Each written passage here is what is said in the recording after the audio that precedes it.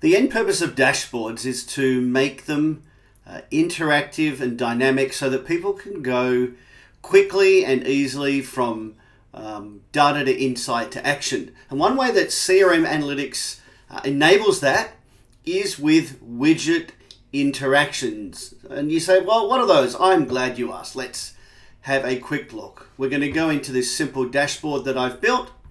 And what I want to be able to do is I want to dive into further detail about my um, pipeline simply by clicking on a widget or uh, a chart.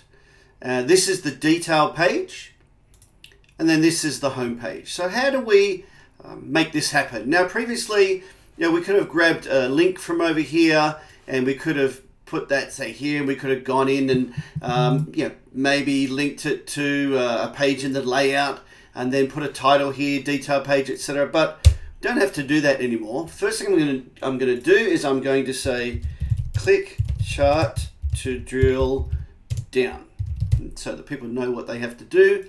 And let's make that just a little bit larger. Okay, great.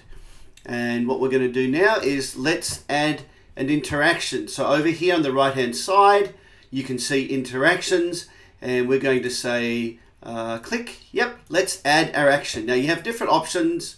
Um, in this one, what we're going to do is we're going to um, link to a page uh, in the layout and let's go ahead and select the page which will be detail. Now you can do other things with interactions. For example, you can kick off a uh, flow uh, in Salesforce, an automation. And uh, we'll probably look at that some other time. But for today, I'm going to keep it pretty simple. So let's click apply here. And then what we want to do also is add uh, another interaction. So let's just quickly unlink that so we don't mess up the one on the other page. Let's add an interaction. Yep, click.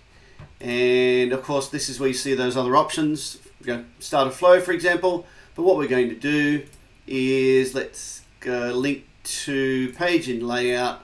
Let's click on select home.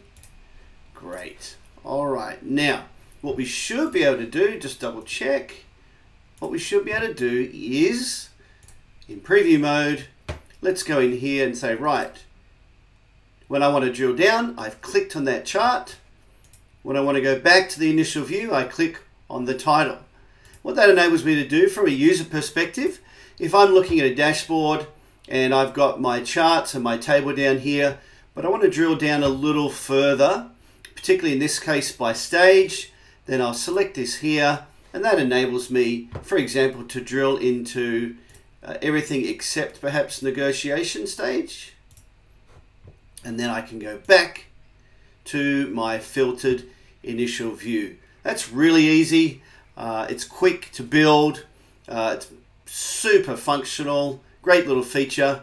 I hope that you'll try it out for yourself and uh, begin to master CRM analytics. Thank you.